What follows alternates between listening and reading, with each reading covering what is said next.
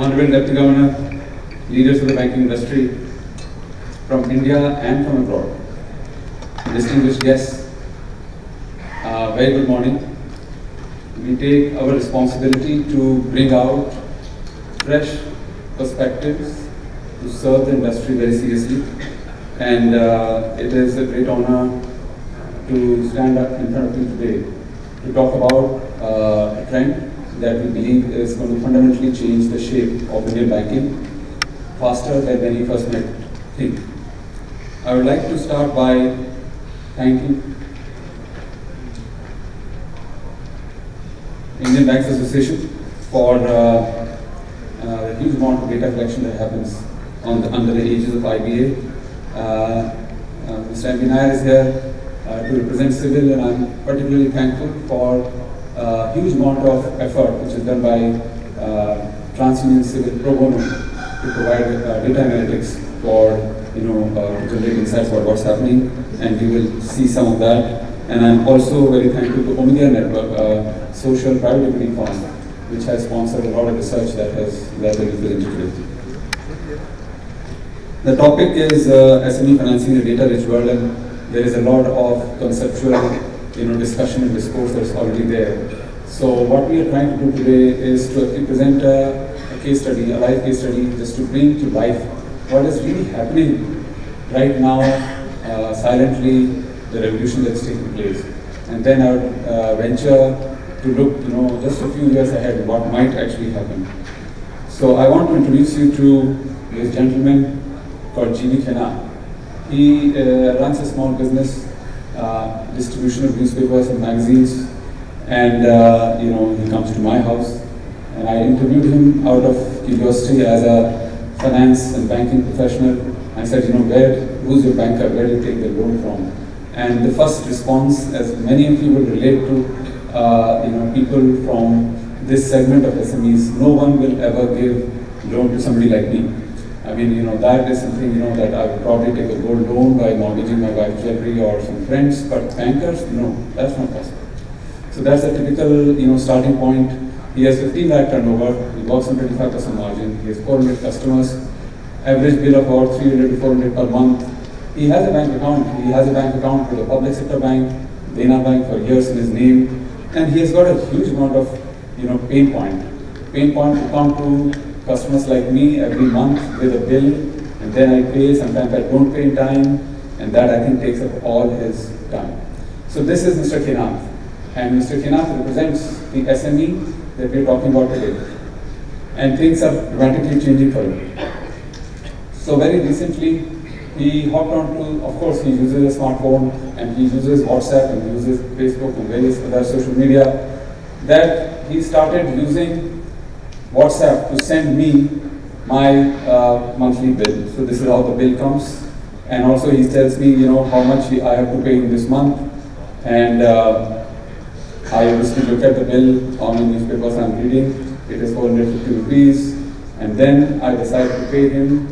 And actually many of you might know that, you know, you know there's a, you know, a pilot of uh, WhatsApp Pay going on. You know, I'm not part of any closed group or anything, but I can pay. And so could he. You know, I took like about a minute to get him on board into it. And then I am paying my, uh, my bill every month to him completely cashless. And, uh, you know, and, and the biggest thing here is that this is his Dena Bank statement. And in Dena Bank statement, the monthly uh, transaction points coming from customers like me are visible very much in the account statement. Uh, and, and as you can imagine, this is a revolution from, uh, this is a silent revolution, the reverberations of which will be felt in the SME finance in India over the next three years. Because for a lot of SMEs like him, the, the, the data about their business is now available and it is accessible and they can use that data which shows that how many customers you have, how regularly they pay. This is a very big proof uh, it establishes the credit worthiness, establishes the cash flow pattern that Mr. Rajesh just talked about in a very powerful way. And that it can be done in a completely cashless manner. So this is uh, Mr. Kinath now, this is already starting to happen. But let me just try to take a, a, a venture, a, you know, painting a scenario of what might happen. Actually, what will happen is just a matter of time because more or less everything that is needed for this future is more or less ready. And the purpose of the next two days is to try to exhort the industry and the regulator and the government to just continue the, the transformation that we are seeing, the efforts that we are seeing to take it to the real fruition. And now this Mr. K. Wants to expand his business and he wants a 50,000 kilo. And now this is something that's already happening. He can download applications, he can go to websites and quickly ask for loan. He gives his information, he gives his Aadhaar number, he gives his PAN card, and he starts the process of getting a loan. Uh, and the lender asks him to authorize, uh, uh, you know, pulling his KYC information from UIDAI and pulling his bureau. And obviously he does that. So already as we speak, eKYC you know, reading the SMS data of the person to establish some amount of uh, income and bureau score. That's already possible, more or less speak seamless as we speak. Now, what is going to happen in the future is that this, based on this information itself, the, the lenders say that, look, you can get 30,000 rupees at 19%. But the lenders also say that, look, if you want to get more, and you get better rate, you have to disclose more data about yourself. Do you have bank statements? Do you have utility bills? Do you have government agencies? whose data you can actually give us consent to really look at. And that is where the true magic of the next generation SME finance comes. So Mr. K. Nath sends bank statement, yes of course, and he selects the bank, he goes to Dena Bank, he enters his one-time password to permit the bank to give consent so that the bank can share the bank statement once and also sharing the bank statement every month going forward till a specified time course. And that allows him to actually the, the lender is able to process their bank account statement, which had all the payments that I had made monthly for the last several years and establishes his business uh, quality, and his loan amount goes up, and his rate comes down because his credit worthiness going up. The same thing he does for utility bill.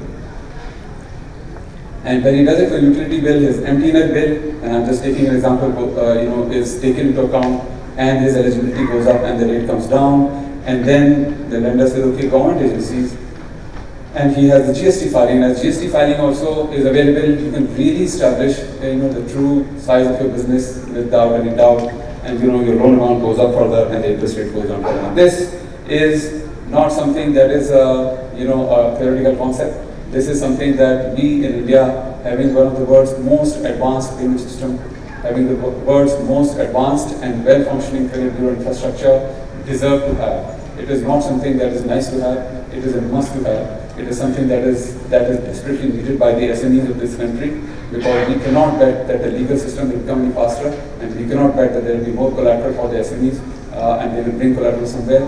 Data is the collateral and our the, the destiny of this country depends upon unlocking the potential of data that the people of this country have. And that is how we as a country are different from the way America is evolving and the way China is evolving.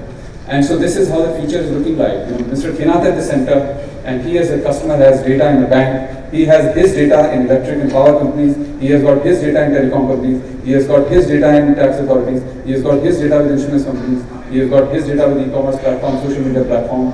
And we are now starting to create a law around, uh, you know, what is it that, you know, uh, are my rights or my data in this country. And what we are trying to posit today uh, also uh, uh, to, to, our respected Deputy Governor, that what we need is a law that allows or gives the power to every citizen of this country to be able to pull electronically his or her data wherever it resides, not just banking data, data wherever it resides, and to pass to a central consent authority to give it to anybody with whom he or she wants to have a transaction. And in this case, it's a borrowing transaction to the lender so that you know I can really use the data assets, my data assets to my benefit. So that is a very important you know, framework that we need to think about, an API framework to which all institutions who keep customers' data have to adhere to. That in a standard format, electronically, if they are, you know, if their APIs are called upon, they are going to share it with customers' consent to whoever wants it. Now this is something that you know is very much relevant in context of what is happening. Uh, over the last you know uh, you know two years, uh, we have noticed as a part of this research that formalization in our economy has been pushed up quite significantly. Obviously not as much as we want. So you know less than 10 lakh turnover companies, we have seen up to 5% increase in formalization. But 10 lakhs to 1 crore segment has more or less become 100% formal, 96% formal. And of course, SMEs more than 1, 1 crore turnover are more or less entirely formal now. So that is a very important thing. And of course, most of it is driven by GST implementation. And less than 10 lakh category, only 18% are actually registered under GST, so there is a long way to go. But things are uh, much different in the uh, uh, other sectors. The other angle to remember, of course, is that SME finance is not everything. Of course, when we did the survey, 33%, uh, which is the highest, obviously said that they need, a, you know, the loan is the biggest problem. But the demand issues, you know, the business is not always very viable. You know, their own marketing infrastructure, their own customers, their own customers don't pay on time. So many other issues are uh, equally relevant. And a very important point is when we ask them about formalization, their dominant response, half of them said that we formalized because of coercion. They don't yet see the value of formalization. And that is where, sir, again, there is a huge need to really see how we create pull for formalization rather than push. And it is relevant to be spoken in this meeting of bankers because we believe that this pull-based formalization can lead to a virtuous cycle rather than the coercion that we are having to resort to. So of course, we start with a strong government push leading to formalization. Formalization with digitization creates digital footprints. Digital footprints enables cheaper access to credit. Then MSMEs realize that there is a benefit for formalization that comes with it. And then you know you have a you know a potential exponential takeoff that uh, really can, uh, can can happen. So I think the agenda is only half done. We need to find a way that there is a pull, and banking industry can really provide that pull and some of it is already starting to happen. So the early signs are really encouraging. This is the total banking credit of our country. As you can see, there is a 25 lakh crore, which is where you know we would typically consider the SME segment. This is a 25 lakh crore of formal financing. On top of it is there is at least 20 uh, uh, you know, lakh crores of informal financing to the SME segment. And out of this, if you would see, you know, 50 lakh crore is in borrowing in the entity's name, 10 lakh crore is borrowing in the individual's name. A lot of personal loans that are taken by the people are actually business loans. And the, this is the fastest growing credit segment for us today, 25% growth rate, two years CAGR. So uh, some of this that we're talking about is not theoretical, it is actually taking place. And another very interesting thing, thanks to CIBIL TransUnion, you see the growth rates, 2 lakh to 10 lakh loan, 10 lakh to 1 crore loan, are the fastest growing segment in our country today. And our hypothesis is that a lot of it is driven by the trans transition from informal credit to formal credit, as many of them are starting to see value in it. And this is the NPA profile. And you can see there's a sweet spot. The NPAs are, you know, uh, uh, we all know the NPA problem in our country. But here, you know, it's a U-shaped, you know, an interesting graph. The 10 lakh to 1 crore category is where we see the maximum action taking place.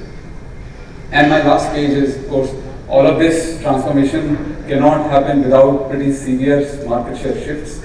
And MSME is one of those segments where the disruption because of technology will be most severe.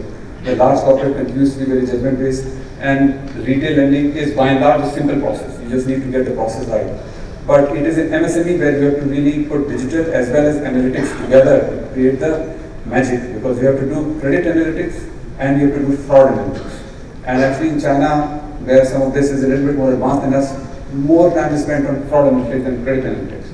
So the science of this is still evolving and it requires a lot of intervention. What we are noticing is that after a very long time, but now very rapidly, public sector is less than 50%. It's actually 40% of the total outstanding credit to the MSME segment. It was 50% just two years back. We all know why it is happening. The constraints, and in the 10 lakh to 50 lakh segment, the public sector now only 30% of outstanding credit you see there's a lot of change. This, this is dramatic market share shifts used to take place in the airline industry. And we used to always say banking is not going to be the same market share shift, but it is for a variety of reasons being precipitated in this manner. So we are going to see a very different landscape. Sir, I would like to conclude by making a few requests for your attention as to how we can make this uh, a, a reality, a possibility in next few years, and how we can really ensure this happens. Firstly, India stack is a jewel for India. It is why India will be different from China and America. It will give us the reason for pride as a differentiated economy in the world. We need to strengthen it. The consent layer on the India stack is not yet ready. It has to be made available as quickly as possible. We need to raise the eKYC opportunity with OTP. We need to reinforce the possibility of e-sign legality, which is always in doubt and you know prevents very straight-through processing. We need to improve e-NACH quality so that a lot of collections can be automatically, without disruption, be electronic. And we need to really release the UPI 3.0 after 2.0, where the collections features is really embedded.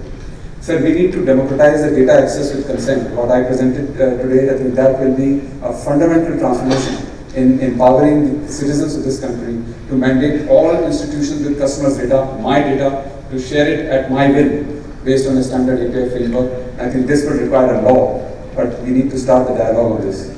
We need to strengthen the registration mechanism. The MCA has only companies. It should have proprietorships and partnerships. We have to standardize our SIC codes so that reporting and benchmarking of SMEs becomes easier. Sir, we need to expand the credit bureau infrastructure. Our credit bureaus are among the best in the world because the law is very strong. But I am quite saddened to note that some players are able to escape having to submit all the data to the bureau. That can defeat the purpose.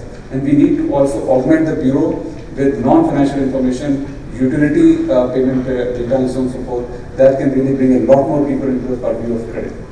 So we need to build incentives for digital transaction. It is very heartening that uh, you know government is thinking about giving people incentives for making digital payments. As you saw in my case study, if people accept digital payments, their credit worthiness goes up. And finally, sir, uh, you know, obviously I know you from Reserve Bank, but we are going to talk about uh, know, to the government and this is our responsibility. That the fact is that reforms for ease of doing business, which makes it, you know, our SMEs are actually dwarfs. They are not children. They don't grow. They stay dwarfs because they find that as soon as they become large, the compliance cost just kills them.